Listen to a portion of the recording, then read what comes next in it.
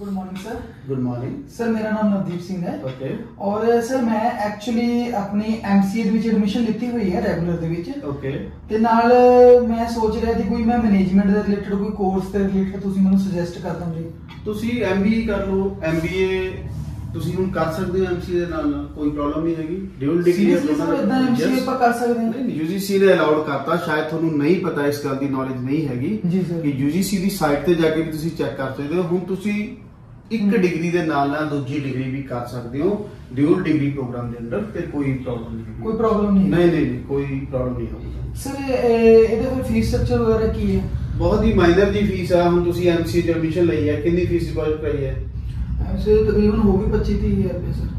Semester ਦੀ। Semester ਦੀ। ਹਾਂਜੀ, ਹਾਂਜੀ, sir. ਓਕੇ ਇਹ ਸਿਰਫ ਤੁਹਾਡੀ 50% ਫੀਸ ਯਾਨੀ 13500 ਰੁਪਏ ਸਿਰਫ ਮਾਈਨਰ ਦੀ ਫੀਸ ਆ। ਤੇ ਐਡਮਿਸ਼ਨਸ ਚੱਲ ਰਹੀਆਂ ਨੇ ਤੁਸੀਂ ਆਪਣੀ ਸੀਰੀਅਸਲੀ admissions ਸਰ ਇੰਨੀ। ਘੱਟ ਫੀਸ ਦੇ ਵਿੱਚ? ਬਿਲਕੁਲ ਬਹੁਤ ਹੀ ਜ਼ਿਆਦਾ ਘੱਟ ਫੀਸ ਆ। ਹਮ। ਤੇ ਪ੍ਰੋਪਰ ਤੁਹਾਨੂੰ ਗਾਈਡੈਂਸ ਦਿੱਤੀ ਜਾਊਗੀ ਇਸ ਰਿਗਾਰਡਿੰਗ ਤੇ Okay. ਤੁਸੀਂ ਕਰ ਸਕਦੇ ਹੋ ਕੋਈ ਪ੍ਰੋਬਲਮ ਨਹੀਂ। ਮਤਲਬ ਕਿ ਸਰ ਮੈਂ ਦੋਨੇ ਡਿਗਰੀਆਂ ਇਕੱਠੀਆਂ ਕਰ ਸਕਦਾ। ਇਕੱਠੀਆਂ ਕਰ ਸਕਦੇ ਹੋ ਇਹ ਤਾਂ ਬਿਲਕੁਲ। ਸਰ ਬਹੁਤ ਵਧੀਆ ਗੱਲ ਦੱਸੀ ਬਹੁਤ ਹੀ ਤੁਸੀਂ ਮੈਨੂੰ ਤਾਂ ਵਧੀਆ। ਪਤਾ ਹੀ ਨਹੀਂ ਸੀ ਹੈਗਾ। ਮੈਂ ਕਾਫੀ ਸਮੇਂ ਤੋਂ ਸਰਚ ਕਰ ਰਿਹਾ ਸੀ ਸਰ ਮੈਨੂੰ ਜ਼ਰੂਰਤ ਬਹੁਤ ਜ਼ਿਆਦਾ ਨਵਦੀਪ ਸਟੂਡੈਂਟਸ ਨੇ ਮਾਰਕੀਟ ਦੇ ਵਿੱਚ ਅਸੀਂ ਮਿਲਦੇ ਹਾਂ ਰੋਜ਼. ਜਿਨ੍ਹਾਂ ਨੂੰ ਇਸ ਗੱਲ ਦੀ ਨੌਲੇਜ ਹੀ ਨਹੀਂ ਹੈਗੀ ਕਿ ਅਸੀਂ ਦੋ ਡਿਗਰੀਆਂ ਵੀ ਕਰ ਸਕਦੇ ਹਾਂ। ਥੈਂਕ ਯੂ ਸਰ ਮੇਰੇ ਤਾਂ ਐਡਮਿਸ਼ਨ ਕਰ ਦੋ ਤੇ ਸਰ ਤੁਸੀਂ ਆਪਣੇ ਜਿਹੜੇ ਨਾਲ ਦੇ ਫਰੈਂਡਸ ਨੇ ਉਹਨਾਂ ਨੂੰ ਵੀ ਸੁਜੈਸਟ ਕਰੋ ਇਸ ਦੇ ਬਾਰੇ।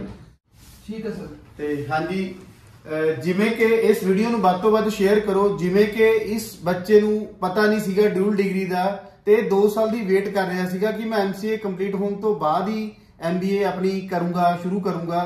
ਤੇ ਦੇਖੋ, ਇਸ ਦੇ 2 ਸਾਲ ਪ੍ਰੀਸ਼ੀਅਸ ਈਅਰ ਜਿਹੜੇ ਨੇ ਬੱਚੇ ਦੇ ਖਰਾਬ ਹੋ ਜਾਂਦੇ।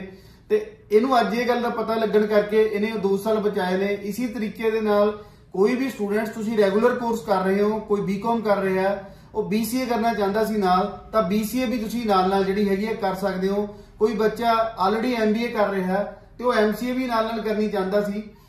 ਜਾਂ ਉਹ ਇਹ ਪਲੈਨਿੰਗ ਬਣਾ ਰਿਹਾ ਕਿ ਮੈਂ MBA ਕੰਪਲੀਟ ਕਰਨ ਤੋਂ ਬਾਅਦ MCA ਜੁਆਇਨ ਕਰੂੰਗਾ।